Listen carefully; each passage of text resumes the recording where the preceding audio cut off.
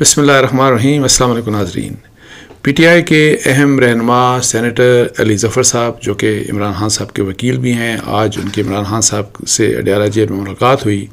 और मुलाकात के बाद बाद वो जब बाहर प्रेस कॉन्फ्रेंस करने आए तो उस प्रेस कॉन्फ्रेंस के दौरान उन्होंने कहा कि मैं एक अहम, मैं एक ऐलान करने जा रहा हूँ।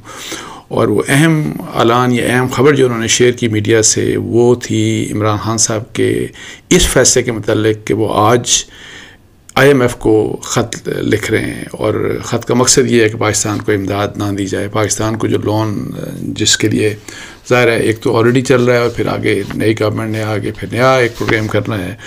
तो ये कि जी, ये प्रोग्राम इसका मकसद ये है कि पाकिस्तान के साथ किसी किस्म का कोई फर्दर प्रोग्राम इन हालात में ना किया जाए। पाकिस्तान को जो कर्ज़ है, जो आईएमएफ का कर्ज़ है, वो ना दिया जाए। अच्छा बैरिस्टर साहब ने क्या कहा? पहले मैं वो पढ़ के आपको सुना दूँ। उनका ये कहना था कि आईएमएफ और यूरोपीय यूनियन चार्टर के मुताबिक इस वक्त कर्ज देंगे। जब मुल्क में गुड गवर्नेंस हो, जिस मुल्क में जमहूरियत नहीं, वहाँ बैन अवी इदारे काम नहीं करते। उन्होंने ये भी कहा कि पूरी दुनिया ने देखा कि लोगों का वोट रात के अंधेरे में चोरी हुआ, जितने हलकों में धांधली हुई, इन हलकों का ऑडिट हो। ऑडिट जो जुडिशरी का अमल दखल भी हो। अगर ऑडिट नहीं होता तो आईएमएफ से कर्ज का इकदाम मुल्क के लिए नुकसानदेह है। अब ये इस लिहाज से इन्होंने बात की, अब ये डिटेल्स बाद में सामने आएँगी कि इमरान खान साहब के लेटर में प्रिसाइसली किस किस्म की क्या क्या बात की गई। लेकिन इस माहौल में, जिस माहौल में इलेक्शन हुए, जिस तरीके से इलेक्शंस के बाद हुकूमत बनने जा रही है तो इस, इन हालात में उन्होंने कहा कि मकसद ये है कि जी आई एम एफ़ को, पाकिस्तान को कर्ज़ नहीं देना चाहिए। ये वो मामला है जो कि मेरी ज़ाती राय में इमरान खान ने चूँकि ये पहली दफ़ा नहीं, पहले भी इस तरह की बातें इमरान खान या पी टी आई की तरफ़ से आ चुकी और मुझे जिस बात का अफसोस हुआ कि ज़ाहिर है जिस वक्त आपके ऊपर मुश्किल आती है, अगर आप जेल में जाते हैं तो हर इंसान ज़ाहिर है अपनी गलतियों से सबक सीखता है, अपने आप को रिफॉर्म करता है, अपने आप को ठीक करता है। लेकिन क्या इमरान खान साहब को आई एम एस से इस किस्म की डिमांड करनी चाहिए कि जिसका मकसद ये हो कि पाकिस्तान को कर्जा ना दे, पाकिस्तान को के साथ जो जो जो भी प्रोग्राम, ये ऑन गोइंग प्रोग्राम है या जो फ्यूचर में जो नया प्रोग्राम चाहिए, वो पाकिस्तान के साथ प्रोग्राम ना तय करे आईएमएफ और जिसका कंसिक्वेंस क्या होगा, वो सबको पता है। किसी भी माशी एक्सपर्ट से पूछ रहे हैं पीटीआई के अपने माशी एक्सपर्ट से पूछ रहे हैं। कि उसका ज़ाहिर कंसिक्वेंस ये होगा कि अगर आईएमएफ के साथ आपका जो डील नहीं होती तो कोई भी आपको पैसा नहीं देता, इवन दोस्त मालिक आपको कोई इमदाद आपकी नहीं करते। और पाकिस्तान के ऊपर जिस वक्त, जिस किस्म के माशी हालात इस वक्त हैं, उन माशी हालात के लिहाज से अगर देखा जाए तो बहुत ही मुश्किल हालात हैं। और उनमें ज़ाहिर है, जो एक्सपर्ट्स हैं मीशत के, वो ये कहते हैं कि आई एम एफ़ का प्रोग्राम मस्ट है, जिसमें पी टी आई भी शामिल है। वो भी ज़ाहिर है उसके उनके भी जो एक्सपर्ट्स होंगे, आप उनसे बात करें, वो यही कहेंगे। और अगर ऐसा नहीं होता तो पाकिस्तान खुदा न खासा खुदा न खासा पाकिस्तान डिफ़ॉल्ट कर जाएगा और डिफ़ॉल्ट का नतज क्या होंगे? डिफ़ॉल्ट के नतज ये होंगे कि जी, पाकिस्तान में पे महँगाई जो कि ऑलरेडी बहुत ज़्यादा है, इससे बहुत कई गुना ज़्यादा इससे महँगाई हो जाएगी। पेट्रोल जो बहुत ऑलरेडी महँगा है, ये बहुत ज़्यादा और महँगा हो जाएगा। डॉलर के अगेंस्ट पाकिस्तान के रुपए की बहुत वैल्यू कम हो चुकी, ये वैल्यू मज़ीद हो सकता है 400 तक चली जाए, ये 500 तक चली जाए। और इसी लिहाज से मतलब है कि पाकिस्तान के हालात और पाकिस्तान के अवाम के लिए जो हालात होंगे, वो बहुत ही ज़्यादा मज़ीद ख़राब हो जाएँगे। और अल्लाह ना करे कि उस सिनेरियो को अगर आप श्रीलंका में हमने देखा और पाकिस्तान के हवाले से अगर खुदा नखास्ता बात की जाए कि इस किस्म की कोई सिचुएशन आती है तो मैं आपको बताऊँ कि पाकिस्तान के हालात पाकिस्तान चूँकि बहुत बड़ा मुल्क है तो अल्लाह ना करे अगर इस किस्म के हालात पाकिस्तान में आए तो पाकिस्तान की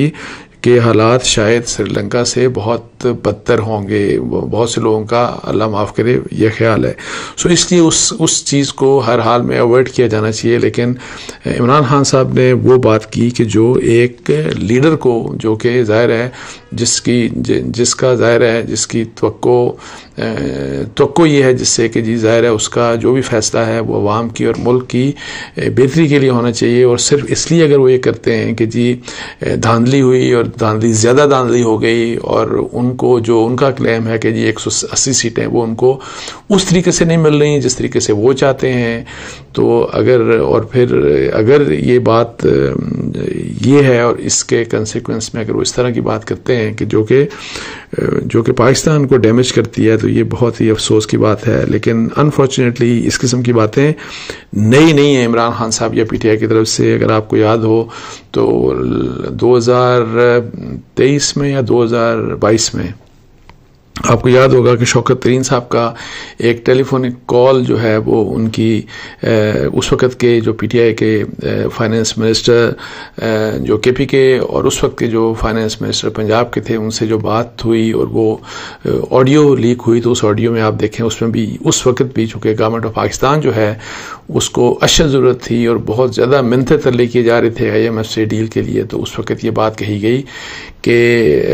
इन दोनों सूबाई हुकूमतों को कहा गया कि आप ख़त लिखें और फेडरल गवर्नमेंट को ख़त लिखें। आप ये कहें कि जी, हम आपको सरप्लस नहीं दे सकते, जो कि कंडीशन थी आईएमएफ की कि आपको सरप्लस लेना है बजट सूबों से। और और इस चीज़ को फिर ये भी कहा गया कि आप पब्लिक भी करें और आईएमएफ वालों को दे दें। और मकसद वो यही कि जी, ताकि पाकिस्तान को कर्जा ना मिले। आप उस वक्त भी ये बात हुई और उसके ऊपर बड़ी कंट्रोवर्सी हुई, बहुत शोर मचा, सब कुछ हुआ, लेकिन उस वक़्त अगर फ़र्ज़ करें कि ऑडियो कॉल पकड़ी गई तो अभी तो एक बहुत अहम रहनुमा जो है अली जफ़र साहब की तरफ़ से अनाउंसमेंट की गई कि ये वो यही करने जा रहे हैं कि पाकिस्तान के लिए आईएमएफ के कर्जे को इन हालात में रोका जाए। अच्छा ऐसा भी अब पिछले दिनों आपको पता है कि पीटीआई की तरफ़ से एक उनके रहनुमा की तरफ़ से ये बात कही गई कि अमरीका से अपील की गई। अमरीका को प्रेस किया गया कि आप पाकिस्तान में के, के केस में इंटरफेयर करें। यही जो इलेक्शन से रिलेटेड मसाइल हैं और वहाँ पे साफ़ साफ़ ये इंटरफेरेंस की बात की गई कि पाकिस्तान को प्रेस करें। मतलब हमारे हमारे हमारे अंदरूनी मामला में अमरीका को कहा गया कि आप मुदाखलत करें। अमरीका तो मुदाखलत खैर करते ही है, लेकिन पाकिस्तान की तरफ़ से अगर पाकिस्तान की कोई सियासी जमात, कोई सियासी लीडर ये बात कहता है तो ये बड़ी काबिल अफसोस बात है। जिसके ऊपर खैर असल कैसर साहब ने कहा था कि उन्होंने इससे डिस्टेंस किया, उन्होंने कहा कि ये बिल्कुल इसका मतलब ये मतलब नहीं कि जो कहा गया या उससे, उस बयान से है नहीं आओ अच्छा हुआ कि उन्होंने इस, उससे डिस्टेंस किया। अब देखते ही है कि आईएमएफ का ये जो लेटेस्ट जो लेटर वाली बात है इमरान खान साहब की, इस चीज़ से उनकी पोलिटिकल पार्टी और पोलिटिकल लीडर्स बाकी जो हैं, क्या उस चीज़ को किस तरीके से डिफेंड कर पाएँगे? और फिर ये भी आपको याद है कि जी रिसेंटली ये भी हुआ कि अमरीका में पीटीआई की तरफ़ से वहाँ के जो पीटीआई के लोग हैं उनकी तरफ़ से अप्रोच किया गया यूएस एडमिनिस्ट्रेशन को यूएस के जो कांग्रेसमैन हैं, उनको लेटर्स लिखे गए और ये कहा गया जी कि आप यूएस एडमिनिस्ट्रेशन के ऊपर प्रेशर डालें कि वो पाकिस्तान के मतलब पाकिस्तान की जो इमदाद और मिलिट्री इमदाद की खासतौर के ऊपर बात की गई, पाकिस्तान की जो मिलिट्री एड है, उसको जो है वो बंद करने की बात की गई। अनफॉर्चुनेटली ये बात भी पीटीआई की तरफ़ से हुई। फिर आपको ये भी बताया कि जी इमरान खान साहब की ये जो मुख्तलफ उनको जो सजाएँ मिल रही थी तो उस दौरान मेरा ख्याल है उनकी हमशीरा रीमा खान साहबा की तरफ़ से शायद बात की गई या पी टी आई के किसी और रहनुमा की तरफ़ से कि आलमी जो है अदालत अदालत इंसाफ के वहाँ पे जाने की भी बात की गई, वहाँ पे हम जा सकते हैं। और, बल्कि जाएँगे, इस किस्म की भी बातें की गई और ये कि जी इस केस को हम इंटरनेशनल बाहर लेके जाएँगे। ये वो चीज़ें हैं कि, जो कि ज़ाहिर है, मुसीबतें आती हैं मुश्किल भी आते हैं। ये हमारे फ़र्ज़ करें कि यही जो मसला है कि 2000 अभी 24 के जो इलेक्शन हैं, इसके बारे में सब मैंने भी ये कहा कि ये बहुत ज़्यादा मशकूक, तरीन इलेक्शन और इसमें बहुत जिस किस्म की जो चीज़ें हुई, और मैंने बल्कि ये भी कहा कि जो इस वक्त जो सिस्टम था, अगर 2018 में आरटीएस बैठा तो इस बार जो ईएमएस जो सिस्टम था, मैंने ये भी कहा कि ईएमएस तो आरटीएस का बाप निकला। और सो इस लिहाज से तो कोई शक नहीं, लेकिन अब ज़ाहिर है कि आप ही का लीगल सिस्टम है और लीगल सिस्टम के थ्रू जो, जिस तरीके से आपने अगर कहीं से इंसाफ लेना है तो वो भी तय है कि जी आपको ट्रिब्यूनल्स में जाना है, आपको हाई कोर्ट्स में सुप्रीम कोर्ट में। अनफॉर्चुनेटली ये बड़ा स्लो सिस्टम होता है और इसके ऊपर यह है कि दो चीज़ें एक तो ये कि जी, इन सिस्टम्स के ऊपर, अपनी जुडिशरी के ऊपर आप ज़रूर प्रेशर डालेंगे, फौरी तौर के ऊपर फैसला करें। इलेक्शन कमीशन को कहें कि आप इसके ऊपर फैसला करें। जल्दी, जल्द, जितना जल्द हो फैसला करें। ये बात तो कही जा सकती है, लेकिन मुल्क से बाहर और फिर आईएमएफ के लिहाज से ये बात करना मेरा ख्याल है कि ये बहुत ही डैमेजिंग है पाकिस्तान के लिए और इसका इसका ये जो इम्प्रेशन इमरान खान साहब का कि जी वो ये कि जी वो, उन्होंने कुछ सीखा है, कुछ वो बदले होंगे। अनफॉर्चुनेटली वो बात नज़र नहीं आ रही और फिर ये कि जी आगे 2018 में आज यही वाली बात है कि इस दफ़ा 2024 में बहुत मैं जिस तरह कह रहा था कि मशूक तरीन, और हर तरफ़ से यही कि जी बहुत रिगिंग हुई। 2018 के इलेक्शन में भी आपको पता है पोलिटिकल इंजीनियरिंग भी बहुत हुई, और किस तरह आरटीएस बैठा, सारा कुछ। इस दफ़ा उससे बहुत ज़्यादा हुआ, लेकिन उस वक्त चूँकि बेनिफिशरी इमरान खान साहब थे, कोई आवाज़ नहीं उठाई, किसी किस्म का उन्होंने एतराज़ नहीं किया। उस वक्त अगर वो एतराज़ उठाते, उस वक्त अगर वो प्रिंसिपल स्टांस ले लेते कि नहीं, मुझे इस किस्म की कामेंट नहीं चाहिए, मुझे इस किस्म के इलेक्शन नहीं चाहिए। तो मैं आपको बता दूँ 2024 में ये चीज़ नहीं होनी थी। अब है, खैर नहीं आओ अब ये, यही वाली बात पीएमएलएन को करनी चाहिए पाकिस्तान पीपल्स पार्टी को करनी चाहिए एमक्यूएम को करनी चाहिए, लेकिन अनफॉर्चुनेटली अब वो चूँकि बेनिफिशरी हैं और वो इस किस्म की बात नहीं कर रहे, और ये वो अनफॉर्चुनेट पार्ट है जो कि हमारे सियासतदानों को सीखना चाहिए, वरना ये चीज़ें इनके साथ बार बार होती रहेंगी और एक बेनिफिशरी होगा और दूसरा जो है वो उससे डैमेज हो रहा होगा, जो डैमेज होगा, वो शिकायत करेगा जो बेनिफिशरी होगा वो खामोश होगा। सो ये वो मामला है और फिर अद, मैं जो हम जब आईएमएफ की में बात कर रहा था तो देखें इस वक्त पाकिस्तान के हालात जिस किस्म के हैं ज़रूरत तो इस बात की थी कि और ये बहुत मैं कह चुका हूँ कि हमारे जितने भी पॉलिटिशियंस हैं सियासतदान हैं लीडिंग पोलिटिकल पार्टीज़ हैं इन सबको पाकिस्तान के लिए और पाकिस्तान की इकॉनमी के लिए पाकिस्तान के अवाम के लिए जो कि महँगाई के, के, के नीचे पिस गए हैं उनके लिए मिल बैठ के तो कुछ चीज़ इश्यूज़ के ऊपर खासतौर के ऊपर इकोनॉमी के इशू के ऊपर उनको एक यूनिफाइड स्टांस लेना चाहिए लेकिन अनफॉर्चुनेटली वो चीज़ हमें नज़र नहीं आ रही। और ये वो चीज़ है जो कि बार बार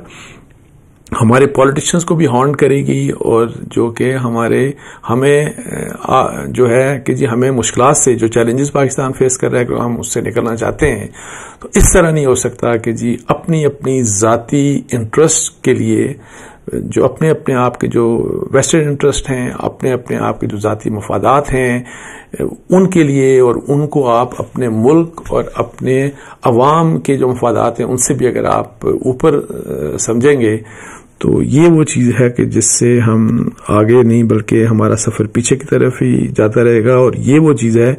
जिससे पाकिस्तान की डेमोक्रेसी, जिस किस्म की भी आपको बताया डेमोक्रेसी पाकिस्तान में है, ये डेमोक्रेसी ऐसे ही बस जो है ना, ये मशकूक किस्म की डेमोक्रेसी पाकिस्तान में रहेगी। सही डेमोक्रेसी, बेहतर डेमोक्रेसी, जिसका मकसद अवाम और मुल्क की खिदमत है, वो चीज़ें पाकिस्तान में नहीं हो सकती। इसके साथ ही मुझे इजाज़त दीजिए। जाकर असल वरहमल्ला